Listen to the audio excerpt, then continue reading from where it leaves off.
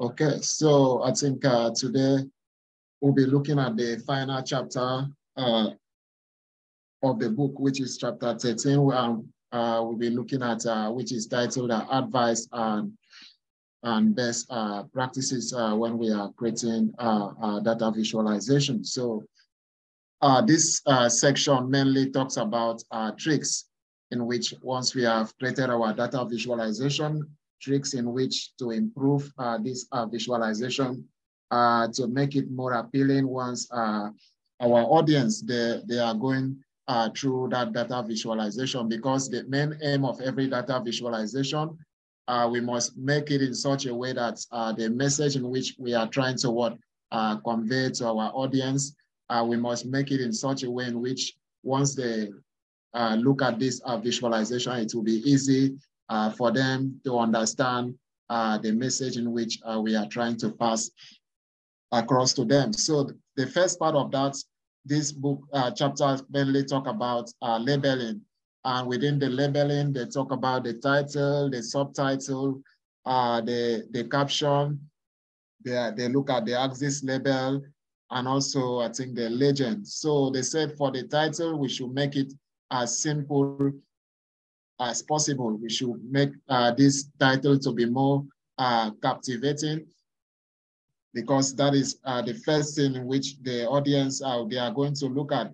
They say a clear, short title, letting the reader know uh, what they are looking at. So it's very, for example, uh, they make an example relationship between experience and wages by gender, which is very simple. But we can also break it down to have a subtitle which is an optional text. Uh, and this optional text is adding a, additional information to the data visualization. So example that they gave yes, which can be between 2016 and uh, 2018. So like for the caption, within the caption, we need to specify uh, the source, the source of the data because we need to uh, make attribution to it. This where is this data set in which we are using for our data visualization. Where is it coming from? For example, they have source, uh, US Department of Labor, and this is also the, the, the, the website link whereby we can, as, we can copy, we can just go to this in our browser, then we can have access uh, to, uh, to see the source where this data set is coming from. Then for the axis label, uh, they talk about the x-axis label, the y-axis label, and each of these label, we need to, if they have a unit, we need to also uh, ensure that uh, we provide uh, the unit so that you make it clear. For example, we have uh, engine displacement, we have survivor time in days, we also have patient age, which is also in years. Uh, then for the legend, the, for the legends, we can have something like male, or female, but they do want that we should not use something like zero or one for the legend because uh, we might not know what zeros uh, signify. The audience, we, they might not know what is zero or what is one. So uh, we, we need to make it simple as possible, like example, making use of female and also male.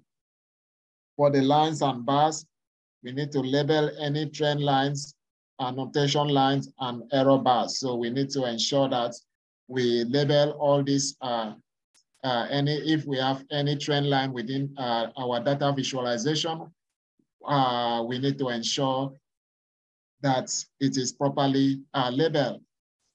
And uh, in the next parts, I talk about signal. Uh, it talk about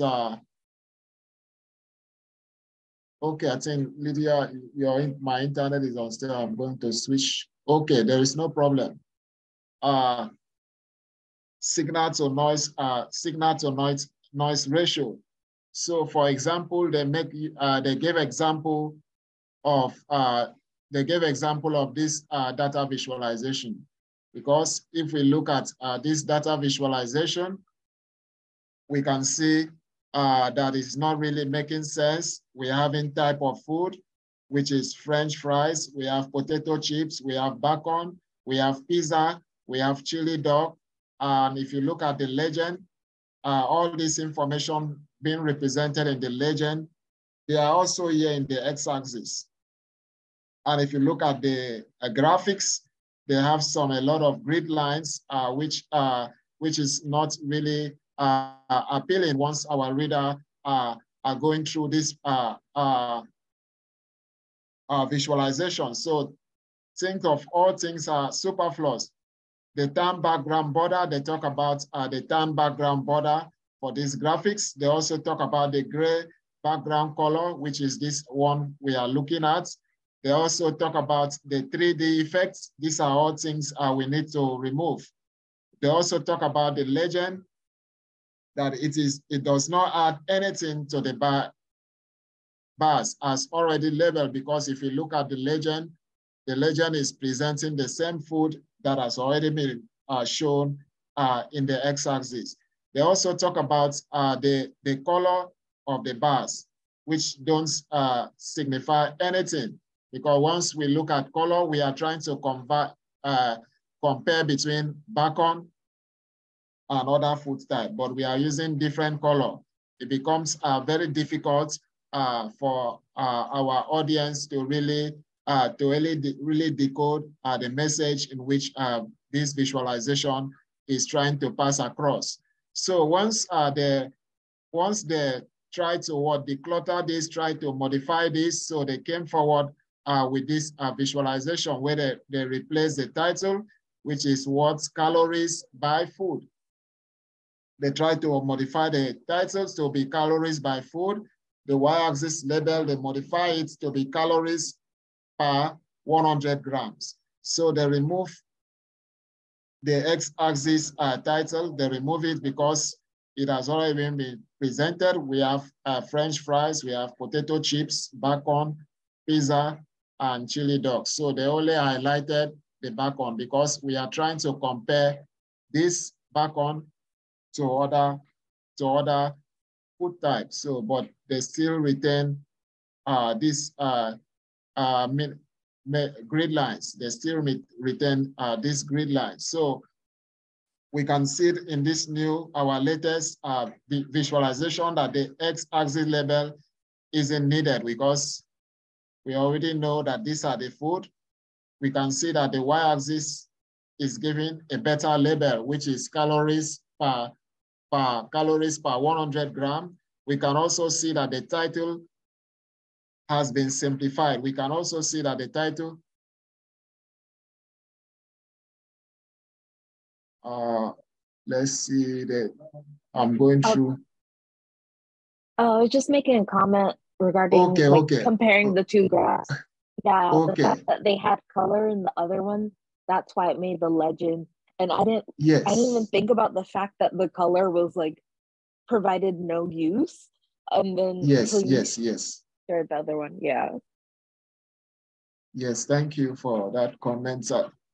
So we also look at uh, the title has been simplified because the word difference uh, in redundant because if you look at the initial title, we are having one calories per 100 gram for different foods. So we now have calories, uh, uh, calories, they now modify it to be calories uh, by food, which is, they make it most, they simplify uh, the title. So if you also look at the grid lines have been made lighter gray than black so they don't distract. So we can see that it is clear it is very clear for uh, uh, our audience uh, to really read uh, these uh, graphics. It will be clear because this grid line they can trace, okay, this one is uh, around 600, this one they can easily trace once uh, they are going uh, through uh, this, this data, data visualization.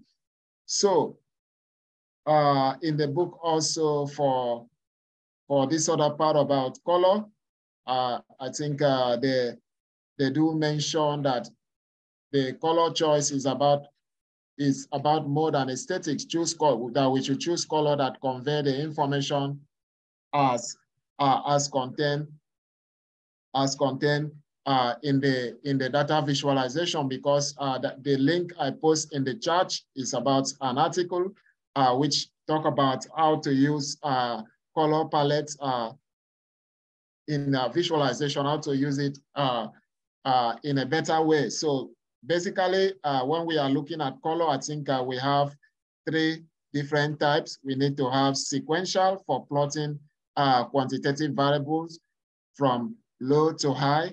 We also have diverging color palettes for contrasting extremes, which we may have low, uh, medium, and high.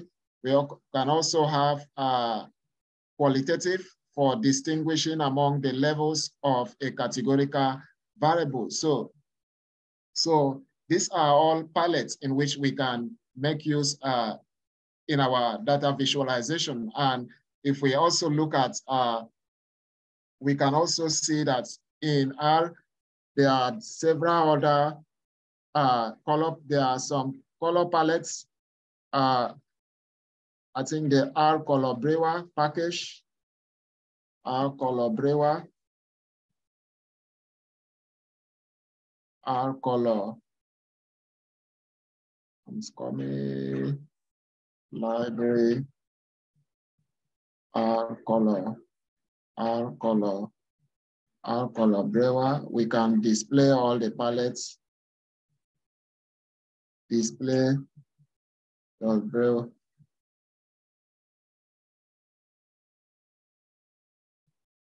You can display all these color palettes.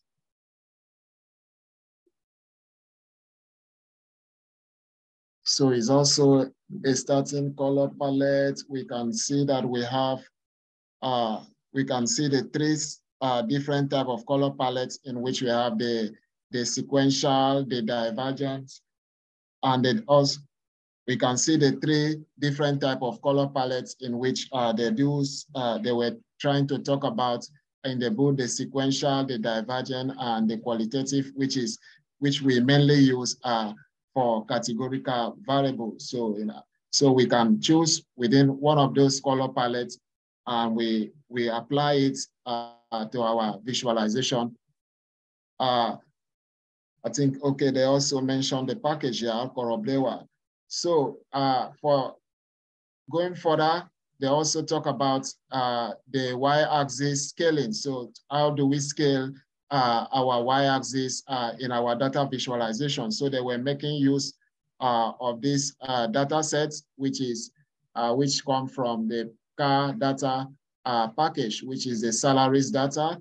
So they load the library dplyr then they, they call the salaries data, and then they filter all the rank that are associate professor, and then they group, uh, they group it by the sex variable, and then they summarize, and which is going to give us all the counts. They look for the mean of all the salary, the standard deviation of all the salary, and here they look for the standard error and also confidence interval. So, the, and they assign all this to a variable called df. So once uh, they call, once they call df, you can see we're having sex, which is female and male. We have the counts, female is 11, male is 56. These are the main value. This is the standard error, uh, standard deviation, standard error, and also uh, the 95% uh, confidence interval. So once uh, they, they now went further to visualize this, they load initialize, they load the ggplot2 package. So they say ggplots, they pass in the data, aesthetic, they do the aesthetic mapping, and then geometry, they say should be points, size of the point should be four, then line, then scale Y uh, continuous, then the limits for the Y axis should go from 77,000 to $82,000. So they use the label scales dollar to convert y-axis to put it in a dollar format. Then for the labs, so the title, which is the main salary difference by gender. The subtitle is nine months academic salary in 2017 to 2018. Then the caption, the CPACE source of the data set, the, the edition, uh, second edition stage. So the x-axis, they name it to be gender. Y-axis, uh, they use salary. And then they use uh, scale uh, Y continuous again. Then they say labels. Uh, they say scales dollar dollar format. So first, we plot this uh, using 77,000 to 82,000. So what's, what do we have? So So we can see uh, when we plot uh, the first one, we can see that we have a lot of uh, difference. Uh, we can see that we it appears we have very large gender difference because uh, we can see we have a very large uh, gender difference in this data visualization. But when we make adjustment to the y-axis scale, if we set it, should go from zero to 125,000. So here we say P plus scale Y continuous. We set the limits to go from zero uh, to 125,000. So once we visualize that, we see that we do not have, we do not have any, we do not have enough uh, difference. So we can see that within scale, that uh, we can we can easily apply some transformation to the plots and it might present uh, the data in different way to our audience. So you can see that these two visualization is passing along two dif different messages to our audience. So once uh, we are, they make some advice that is always good in the y-axis. Once we are labeling the plots, is always good. We always start it from zero points. We should always start from zero.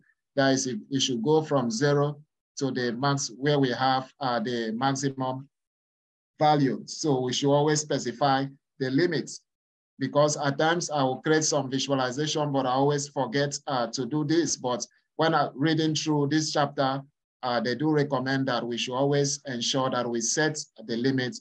We should always go from zero to the uh, to the maximum point. That is for the y uh, axis. So once uh, Yes, yes, yes. I think uh, is we in the two visualization we get we get two because we are passing two different message. So we are going to see difference because in this one we do not start from we do not start the y-axis uh, from zero. In this other one, uh, we limit it. We start from zero and should go up to around 125,000. So we can see that the two graph uh, we see there is a big difference uh, between those two graphs. So in this other case, we want to add some annotation to those plots. We added the error bar, which is geom error bar aesthetics. Y minimum is equals to mean minus confidence interval. Y maximum is mean uh, plus uh, confidence interval. We set the width to be 0.1. Then we do some annotation to add some text on it. We have text the label should be one bar, I bars, 95% confidence uh, interval. Then we say X2, X is equals to two, uh, Y is equals to 73,500. Then we say font face should be italics. Then the size should be three. So once we do that, we can see that we have added some text uh, annotations to the plot. We have added uh, the error bar, we have also added uh, some text annotation on the plot, uh, which we will now make uh, it easy uh, for maybe somebody that is reading our data visualization in which we have created. It will be easy for them to go through. They can say, oh, this is error bar. This error bar represents 95% confidence interval. So because they might look at this visualization, they can say, okay, this is error bar, but they do not not know, is this standard deviation from the data or is it standard error? So we need to really specify because they, they don't need to go and read through the text before they get this information. But if there is a way in which uh, we can just add some annotation, put all those information on the graph. So it will be, it, it makes the graph to be very simple and and clear the message in which uh, uh, we are trying uh, to pass across uh, to our audience. So they also talk about attribution in this uh, in the book, so that they said unless it is your data, each graphic should come with an attribution, a note directing the reader to the source of the data. This will usually appear in the caption of the graph because in the caption of the graph, we need to provide background information about the data in which we are using uh, to create our data visualization. What is the source of those data? uh, so that uh, the user uh, can know where the data is coming from. So in the last part, uh, they talk about uh, going further, going further uh, on how to improve uh, our data visualization skill. Uh, they do recommend uh, the homepage of ggplot2. They do recommend that we should look at ggplot2, the website, the homepage. Let me just open it in the new tab they do recommend that we should look at uh, the homepage uh, of ggplot2, which is the where we can see that we have, we can install, we can see the cheat sheets from this home page. We can see some example in which uh, they give, they say we should read through the home page, look at all the documentation so that we understand uh, how uh, the package work. They also recommend the ggplot2 book, which is elegant uh, uh, graphics for graphics. So they say we should also consult, we should also consult this uh, very, this book, which is very uh, useful. Uh, if you want, want to learn about, uh, they also recommend the ebook R for data science. They also look at uh, ggplot2, uh, ggplot2 cheat sheets, which is another source in which they recommend. They also talk about the Harvard Business Review, a visualization that really work uh, is also another source in which uh, they said we should consult uh, for going forward further to learn uh, more, a visualization that really works uh, by Scott uh, Berinato. So this is also a very useful source in which they recommend we should consult if we want to learn more on how they also look at the website information is beautiful. They also talk about the data, the data book, beautiful data, the stories be, behind elegant uh, data solutions. They also look at uh, the Wall Street Journal, a guide uh, to information graphics, uh, the book, The Truthful Art. I think this is a very, very good book about that talks about uh, data uh, visualization. Is a very good book. Uh, we also have storytelling with data, which is another uh, which is another good book in which I know about uh, data uh, about uh, data uh, visualization. So the, for the final notes for the for the final notes, he said, with the growth of readily available data, the field of data visualization is exploding. That is, is, is growing every day. This explosion is supported by availability of exciting new graphical tools.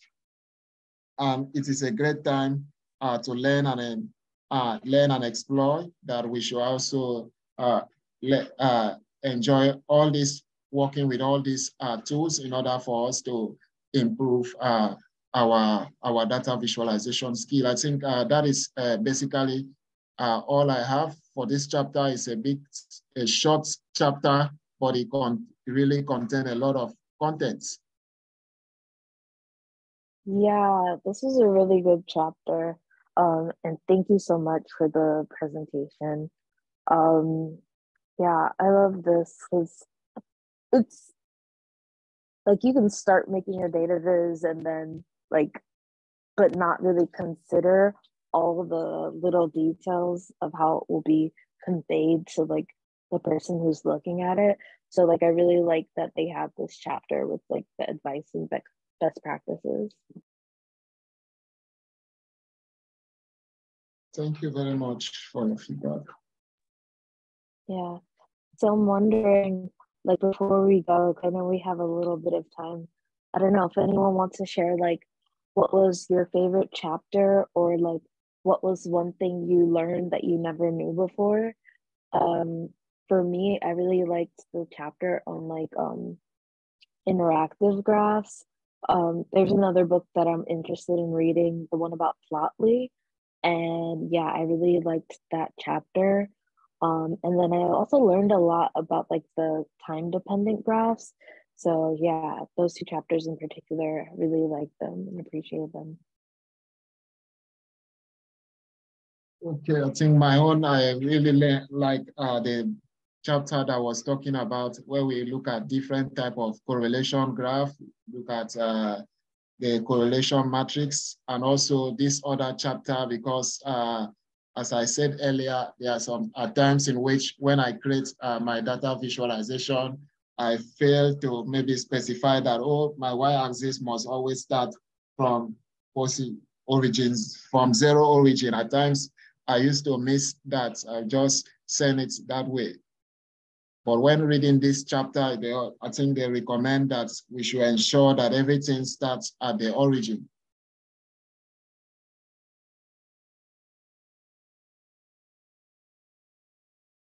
Yeah, for sure. How about Ken Katomi? Any any last thoughts in the book?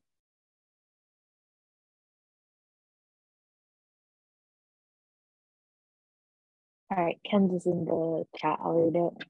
Um, my favorite one is the one that introduced unconventional graphs that are hard to categorize, like the dumbbell plot, for example, and the node map. I'm someone who likes to expand many ways to tell stories. So knowing what other plots I can do is definitely helpful. Yeah, for sure. Yeah, the one the one with kind of like the miscellaneous graphs that didn't fit in anywhere. Yeah, that was a good chapter too. I mean, generally, this is just a good book. I really enjoyed reading this, and yeah, I really appreciate like y'all joining and participating. It was, yeah, really appreciate it. This was really fun, and hopefully get to see you guys in like other book clubs as well.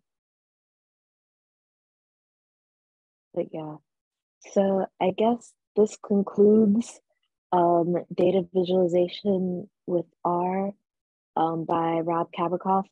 Um, Femi, thank you again so much for your presentation today. And thank you all for joining. Um, yeah, again, look forward to seeing you in other book clubs. And I hope you have a good rest of your day. Bye, everyone. Yeah, thank Bye. you. Bye. Thank you.